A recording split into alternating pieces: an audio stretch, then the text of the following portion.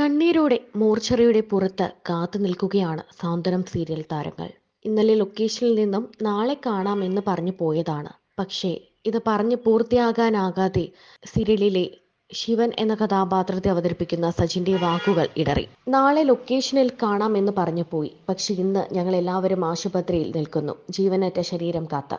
പോസ്റ്റ്മോർട്ടത്തിന് ശേഷം പൊതുദർശനം. ശേഷം അദ്ദേഹത്തിന്റെ നാട്ടിലേക്ക് കൊണ്ടുപോകുമെന്നാണ് സജിൻ പറയുന്നത്. കൊല്ലം മഞ്ചൽ സ്വദേശിയാണ് ആദിത്യൻ. തിരുവനന്തപുരത്ത് പേയാടാണ് ഇപ്പോൾ താമസം. അമ്മ വാനമ്പാടി ആകാശദൂത് തുടങ്ങിയ നിരവധി ജനപ്രിയ പരമ്പരകളുടെ സംവിധായകനും ആദിത്യനായിരുന്നു.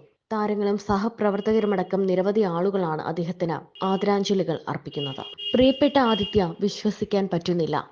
വാനമ്പാടി സാന്ത്വനം സംവിധായകൻ ആദിത്യൻ വിട പറഞ്ഞു. ഈശ്വര സഹിക്കാൻ പറ്റുന്നില്ല ആദിത്യ.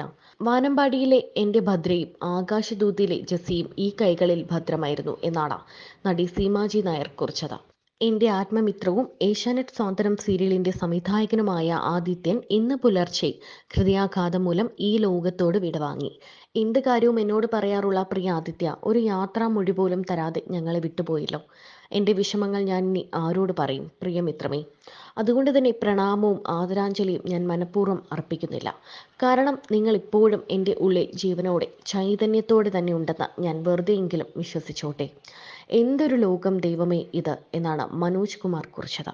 ഇന്ന് പുലർച്ചെയാണ് സീരിയൽ സംവിധായകൻ ആദിത്യൻ ലോകത്തോടെ വിട പറഞ്ഞത്. പ്രിയ സംവിധായകന്റെ അപ്രതീക്ഷിതമായ വിയോഗത്തിന്റെ ഞെട്ടലിലാണ് സീരിയൽ ലോകം.